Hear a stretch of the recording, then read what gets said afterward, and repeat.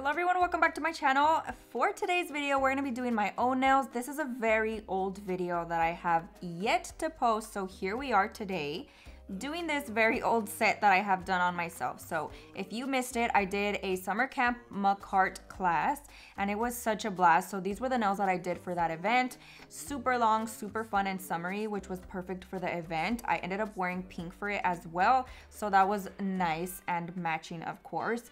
But I'm getting started by going in and prepping my natural nail. I have been doing a lot of the pop off method on my nails because I've been using my own hands for content. So if you have been following me on all my other social media, I've been extremely active on TikTok and Instagram, doing short form videos, doing tons of nail art and showing you guys a little glimpse of my life. So if you guys did not know, I am very active on those platforms. But I'm gonna go ahead and buff off that shine from my natural nail. Speed always at 4,000 RPMs using a mandrel bit and sanding band. And look at me, you guys, I am clipping my cuticles. It's so exciting to see my growth. I know I know you guys are so proud of me, but I absolutely adore doing this now and I will never go back. Now, just to kind of finish off the look of the very polished manicure, I'm gonna go in with a ball bit and just buff off the rest of that dead skin, specifically on the sides of my nails not the cuticle so much, but just those sides because they do get a little crusty and I do have a habit of picking. So we're gonna smooth all that out. Next, I'm gonna be taking my Young Nails brush on glue on these amazing tips that I purchased off of Amazon and we're gonna be applying that onto my nails trying to get that ring finger as straight as possible. So if you didn't know and you have a crooked finger like I do, always point it the opposite way of the way that your finger is turned. So mine turns in towards my middle finger. So I'm gonna try to point it out towards my pinky, if that makes sense. That makes it look a lot better and it just has all the nails kind of flowing in the perfect direction. So I know sometimes I get it a little crooked, but I try to do it as best as possible so that they all look nice and cohesive. Now I'm gonna be going in and filing that natural nail, blending that together using the small mandrel bit from Kiara Sky. This is one of their recent launches and I absolutely adore it. If you wanna test it out, definitely recommend it. It's such a good staple bit to have, especially since it's so little. Next, I'm gonna be taking a lint-free wipe and a little bit of Young Nail swipe and cleaning off the surface. This is gonna remove excess dust and also dehydrate the nail, taking the place of a dehydrator. So I'm doing kind of a two-in-one. And not to mention, there's no lint because the lint-free wipes are nice and lint-free. I'm gonna go in with a Triple X Bond from Not Polished. This is their primer. Absolutely adore it. I do do two coats of that just for reference. Now we're gonna be going in with our color. So I decided to do more of a pinkish base than my typical nude colors that I gravitate towards. So this beautiful color is called Light Sand and I'm gonna be using that in the portions where the nail would be nude. So I'm gonna be doing kind of a smoky marbleized look just in the center of the nail. So I'm taking my not polished acrylic brush. This one is in a size 12 if I'm not mistaken. And then I'm going to be dipping my brush into the colors that I'm gonna be using. So for this design, we are using pink, yellow, and I'm using a little bit of milky white to kind of blend everything out and smoke it out a little bit better. So again, taking that nude color, we're just going to be placing that in the nude sections or the pink sections. And I'm pretty much leaving a void right in the center because I don't like piling up a lot of product on top of each other. So as you can see, it's pretty thin right in that middle section because I'm going to create a design there and I don't want it to get too bulky. I would much rather apply more clear acrylic than necessary then use up my colored acrylic. I've always been like that. I don't know why, but it saves product, ultimately saving money. So I've always done that. Now I'm gonna go in and apply all the colors pretty much with a wet base. So I am using a very wet bead and a very wet brush to do it. It's going to be a lot easier. The more you think about it, the worse it's gonna turn out. So when you apply those colors, just put them on the nail, blend them out, grab a little bit of a different color, blend it out. And I'm pretty much using more of a tapping motion than dragging. So that's gonna be the key to get it nice and smoky. And then I feel like adding in that milky white color just makes it look a little bit more smoky, but it also diffuses a little bit of those brighter colors, making it a little bit more soft, again, making it more smoky. So Again, I grabbed two of the colors. I pretty much picked up both of them, I think, in this bead.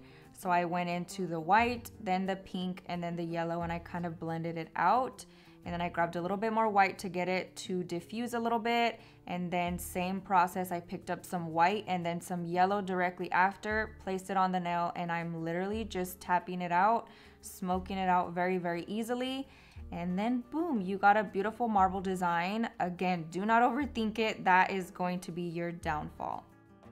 Now I am just going in and repeating that on the rest of the nails. Again, they are gonna be extremely thin, but we are going to make up for that thinness and add the thickness that we need with the clear acrylic.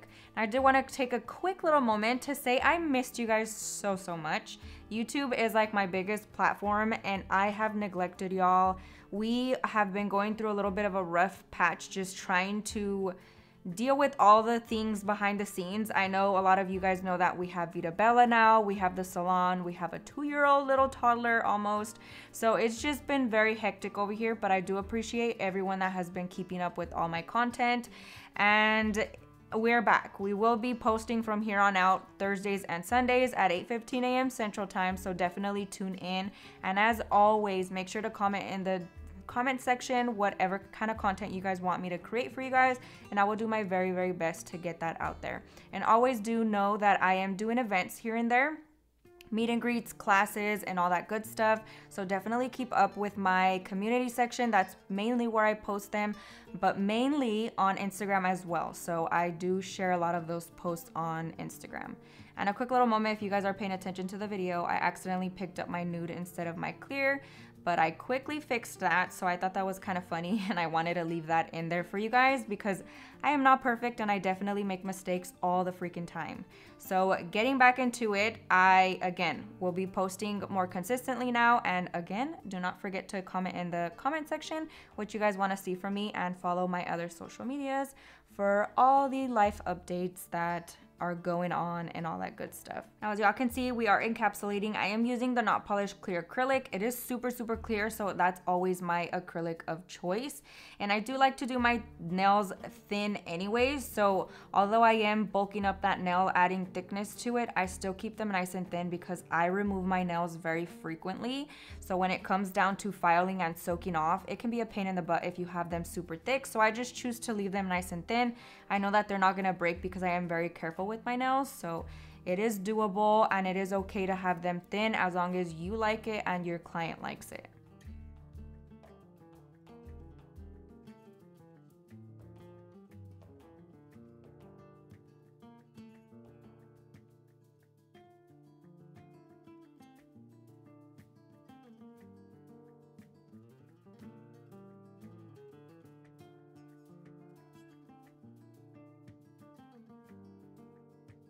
I'm gonna be going in and filing once everything is super, super dry. First, I'm gonna be taking my e-file at a speed of about 11,000 RPMs. Along with that, I'm using a 5-in-1 bit. This one is from Kiara Sky in medium grit. It is just my preference, but you can absolutely use fine. I definitely wouldn't recommend a coarse one for sealing the cuticles, so definitely keep it with a medium or a fine grit. I'm just going in, sealing that cuticle, blending it nicely to the natural nail. I wanna make sure that it is not bulky in that area, otherwise it can cause lifting. So if you've noticed that you have lifting issues, it might be that you're doing everything else correctly, but if you're having it thick in that area, it can cause lifting. Next, I'm gonna be taking my hand file. I absolutely adore using my hand file with long nails. It's just so satisfying and I feel like you get everything a lot smoother, a lot quicker, and you're able to really see exactly where else you need to file. Now I'm gonna be filing the tip as well, all in one motion, going nail by nail. So I go one side, then the other side, and then I do the tip the surface and all that good stuff.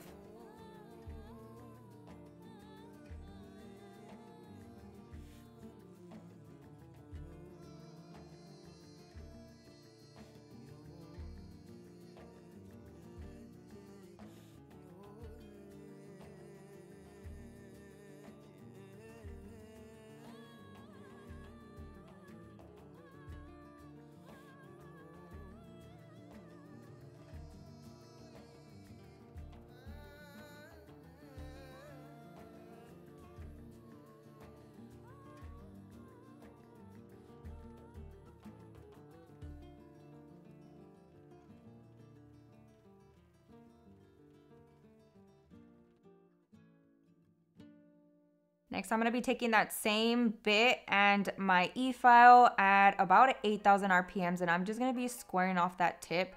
I feel like if you have those little hangy parts, I don't even know what you would call it, but the excess of the tip that kind of gets accumulated under there, it just does not look good. And sometimes just doing that simple little step kind of makes everything super crisp. So I'm just taking my buffer at this point. We're gonna be buffing the surface. You don't have to do this if you're using a fine bit. I honestly feel like if you file the surface nice and smooth with bits, you don't have to buff it and you can go right in, wipe them clean and then go in with your top coat. But I went ahead and top coated and this is the final result. Let me know what you guys think down below. Thank you guys so much for watching. I hope you enjoyed it. I hope you learned a ton and I'll see you guys next time.